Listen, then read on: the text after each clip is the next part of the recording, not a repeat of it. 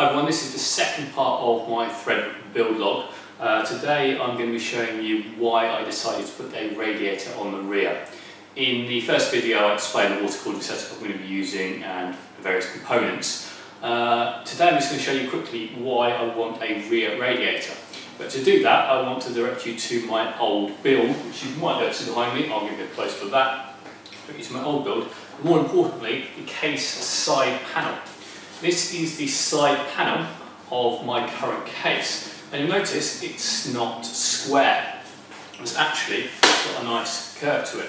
And that is a really useful feature that I wish they'd put in more cases. Actually, the, the case panel itself actually extends about three inches or two three inches along uh, beyond the size of the case. The case actually comes to here. The, uh, the rear I/O panels come out, and they are hidden behind the uh, case. And I'm going to give you a quick panoramic of my flat here so that you can see why that's useful.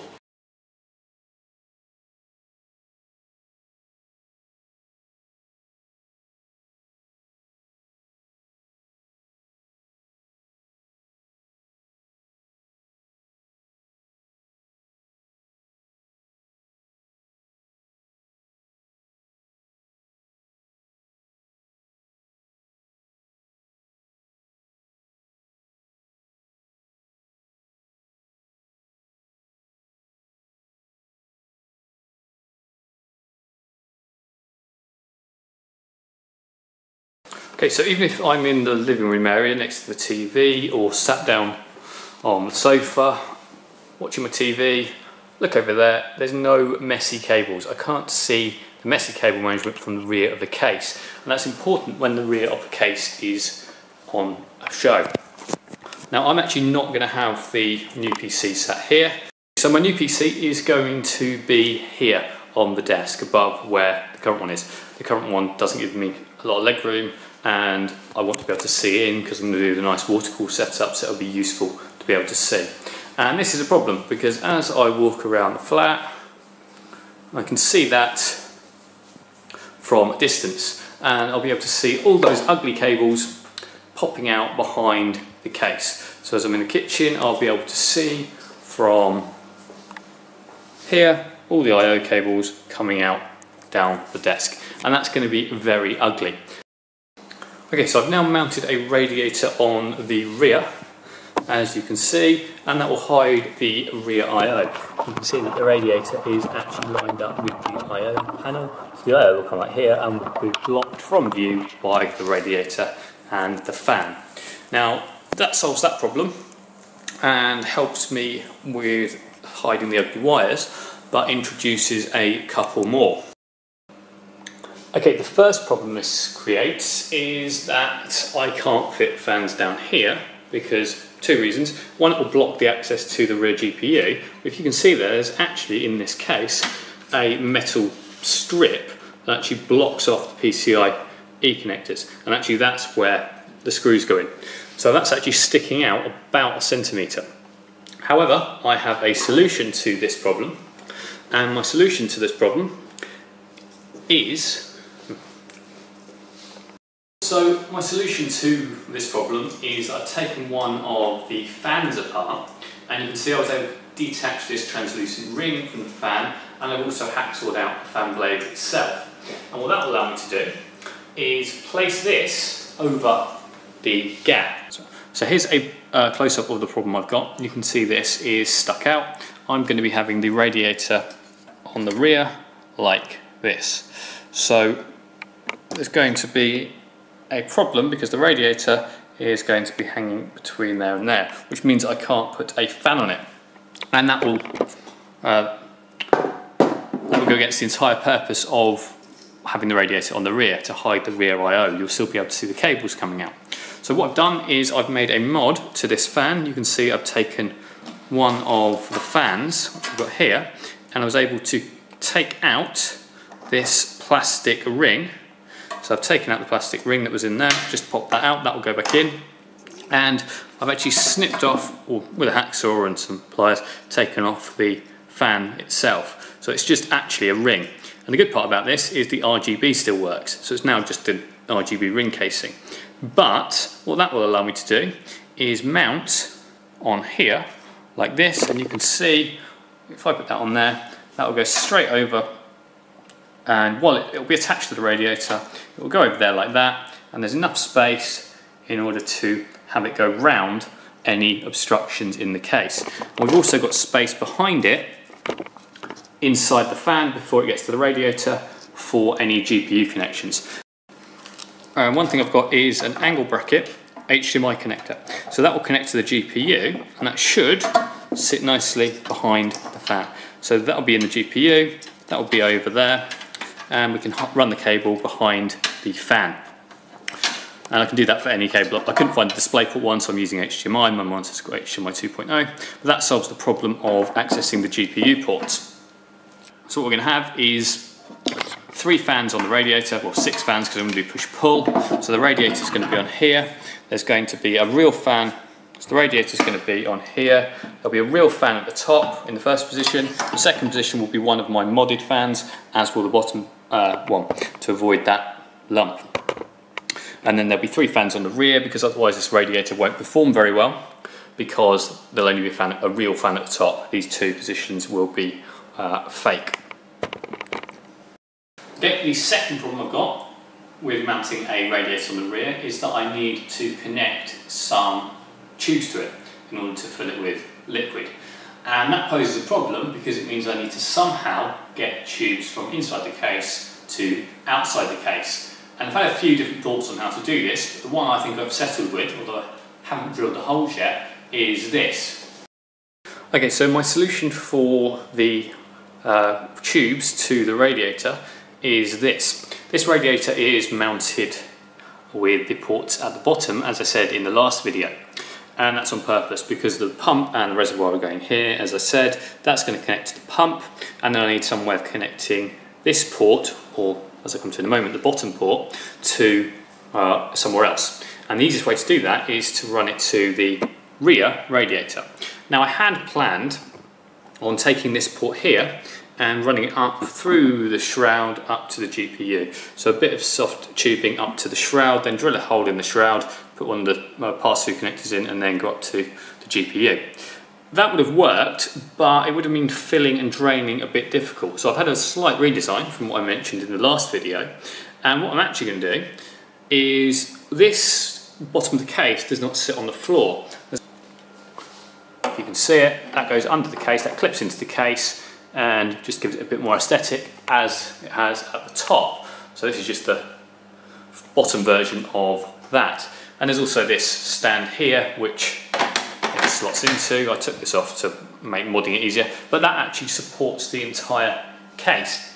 Knowing that this radiator has a port at the bottom there, as well as the top, what I'm going to do is use one of these uh, rotary fittings. I'm going to attach that to the bottom of the radiator. So drill a hole just here, big enough for this rotary fitting. This rotary fitting will then go into the bottom of the case to actually line up with the radiator. So ignore where I'm putting it. It would then line up with the radiator. That will effectively go through like that and it will come down about here in this bottom part. And what I'm then going to do is take some hard tubing, run the hard tubing under here. So this bit's a bit too long really. Now at the moment this doesn't work because that's too high and if you can see I can't run a uh, run the tubing out the back because that leg's in the way. But the front of the case is actually slightly different. This lip is significantly lower. So what I'm going to do is file this rear rip, uh, lip down to be a similar height to the front one.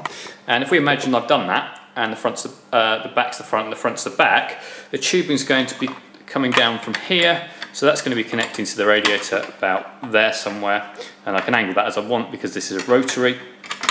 And then I'm going to get my hard tubing, run the hard tubing along the case, connect it to the port which will be going up into the radiator and then I can just slide it out. And if I can get that to a bit of an angle, so it's running downhill, then it'll be a really useful drain port. So that's going to then have a splitter at this end, one of which is going to go into the rear radiator. So if I do this the way around it's actually going to be.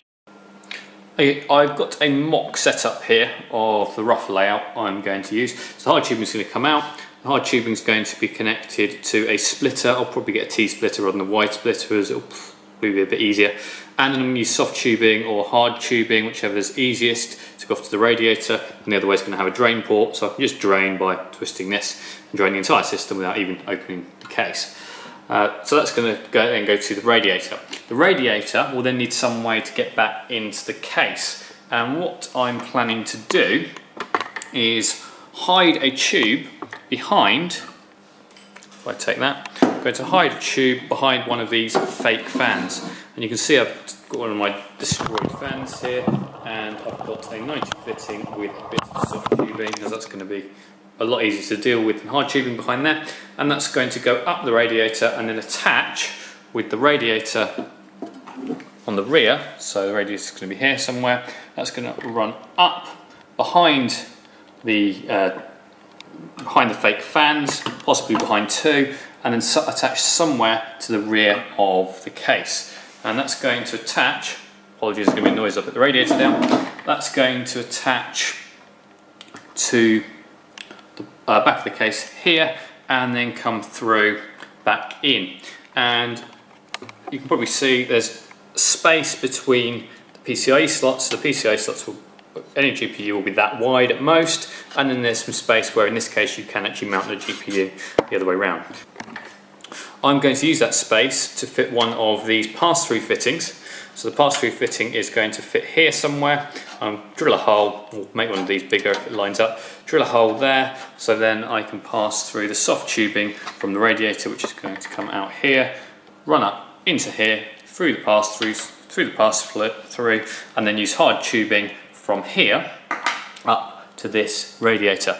And this will be a very, very nice bend if I can do it, because I'm going to attach straight down a bit of hard tubing to that radiator like that. That hard tubing will run down as straight as I can get it and then I'm going to bend it so if I put the camera down a second I'm going to bend it so that it bends here somewhere and just bends into the side so the bend will come so that's going to be a completely straight line as straight as I can get it come down bend and face into here which will then connect back up to the which will then connect back up to this port and then go outside.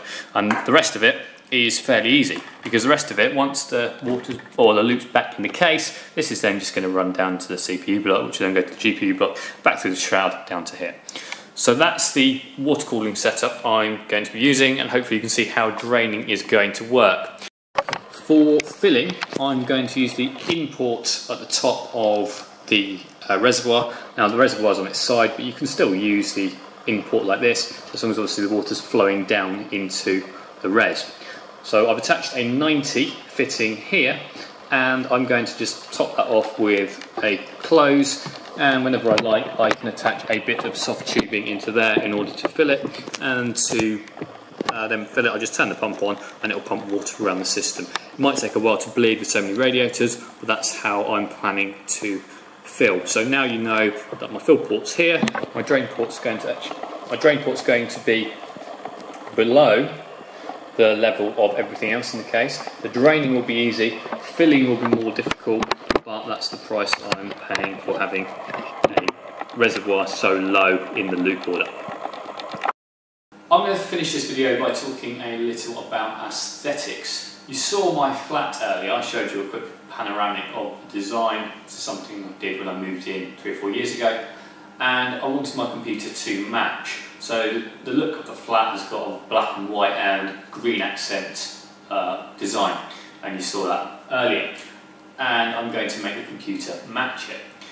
Now, sometimes you see these really fancy, water-cooled, modern-looking computers in strange places. So the aesthetic of the room actually makes a difference to how I've designed this build. I don't want a really modern looking computer in an old farmhouse type building or an old cottage.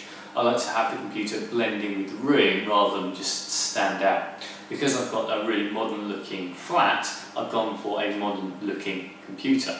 If I did live in slightly less modern area, I'd try and keep my computer to uh, colour scheme and design to match that. Now that Aerocool case looks really good for this flat, it wouldn't really work in a bedroom or an office or anything else. So the aesthetic of this is really important. Okay, that's it for today. I will keep you posted. I am still waiting on the CPU block, so I can't do a lot else. I will be drilling holes in the case for the pump and the hole I told you about earlier, the holes I told you about uh, for the ports. I'll be doing that hopefully today or tomorrow. I'll film it and put that up in the next video. For now, it's goodbye and hopefully you'll stick around and watch the next uh, video or two.